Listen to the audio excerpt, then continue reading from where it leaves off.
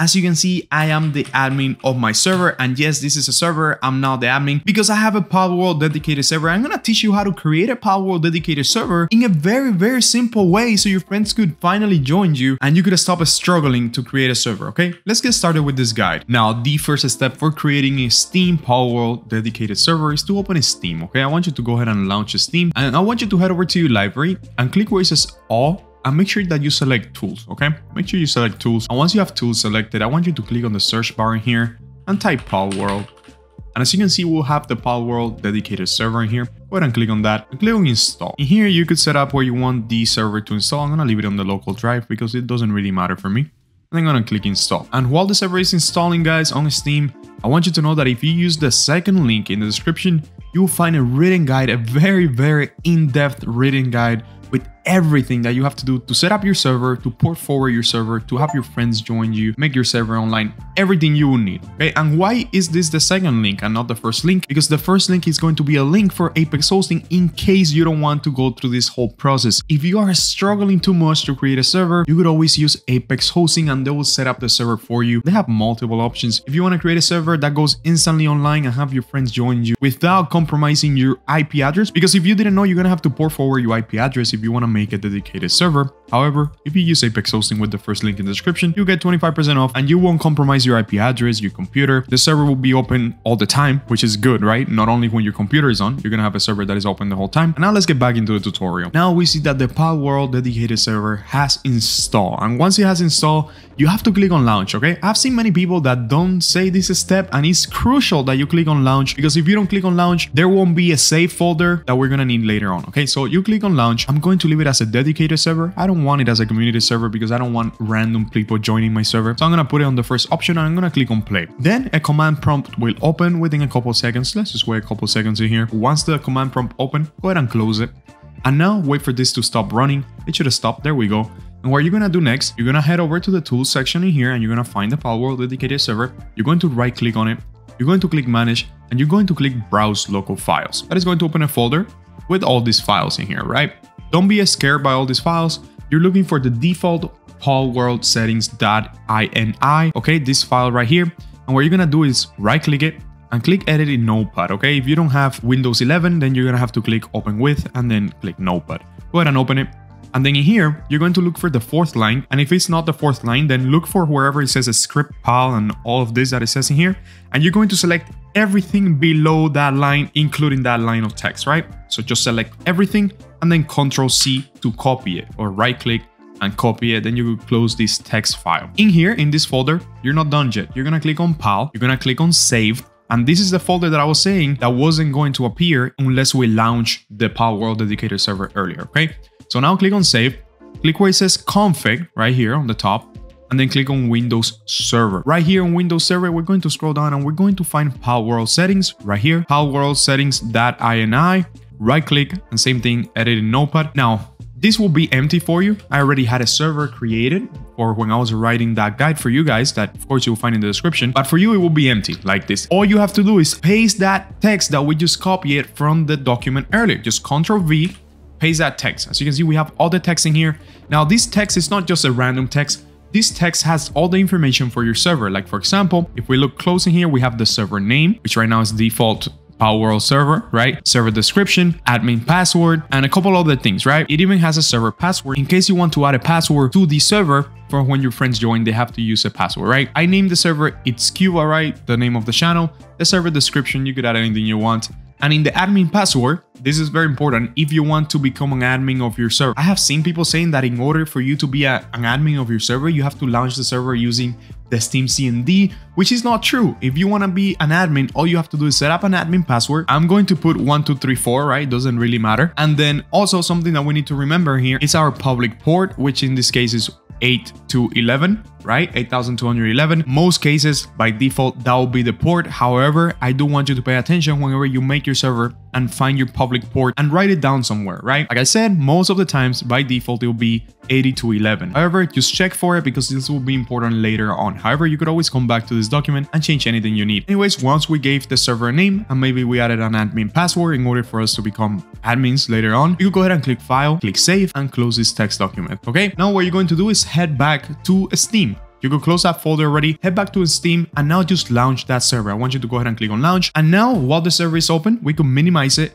and we're going to look for our local IP address. Our local IP address is going to allow us, okay, not your friends, us to join our server. In order to find your local IP address, go ahead and open your command prompt by pressing Windows plus R at the same time. And that is going to open this little thing called run. And in here, we're going to type CMD, right? CMD for command prompt, and then we're gonna click OK. That is going to open this command prompt in here, where we're going to type ipconfig, just like so ipconfig. Again, you can find every single step in our written guide in the second link in the description. And then once you have ipconfig, go ahead and press enter. When you press enter, you are now looking for something called the IPv4 address. This line right here, the IPv4 address, okay?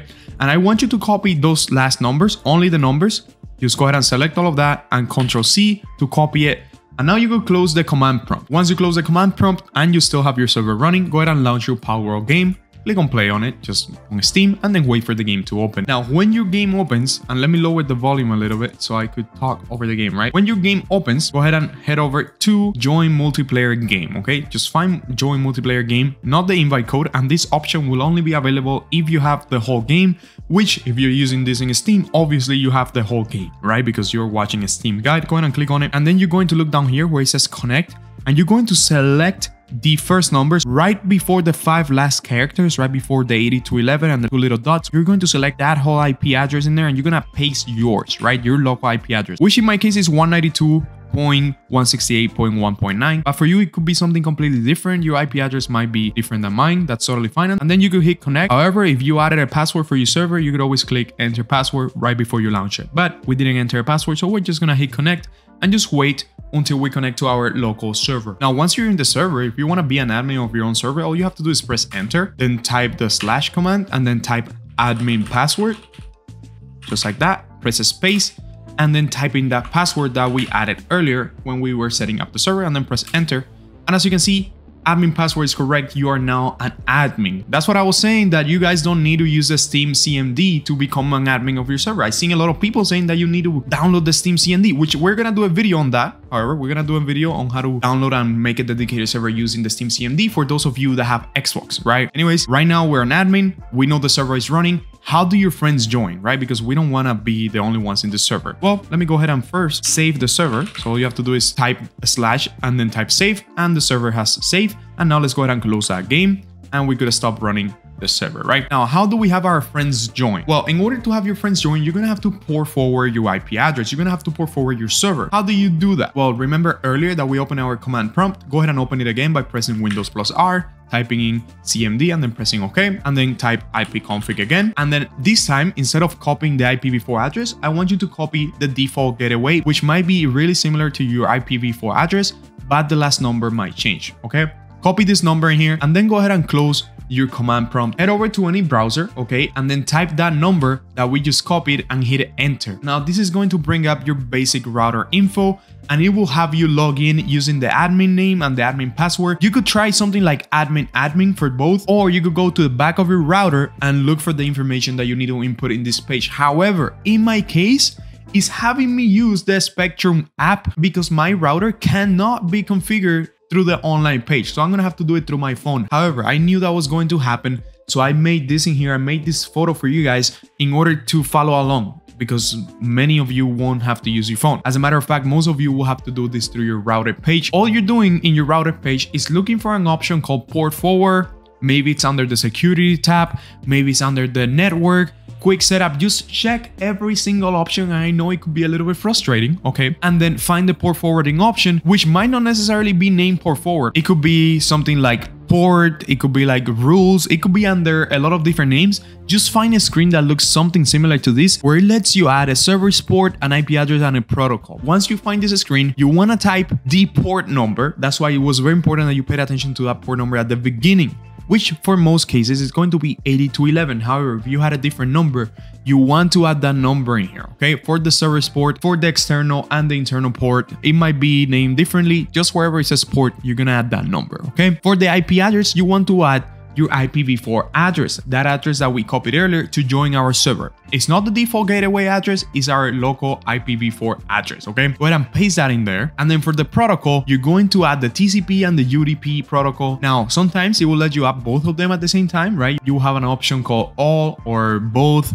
or TCP UDP like in this photo. Sometimes you will have to do it one by one. So what you do is create a rule, right? So you will hit save for TCP, create that rule, and then do everything all over again. And this time do it for UDP and then hit save again to create the rule for TCP and UDP. Once you have done that, once you port forwarded your IP address, you could go ahead and have your friends join using your public IP address. And how do you find your public IP address? Well, head over to our guide in the second link in the description Scroll down until you find the index in here, open that index app and click on the step number three on how to port forward IP address.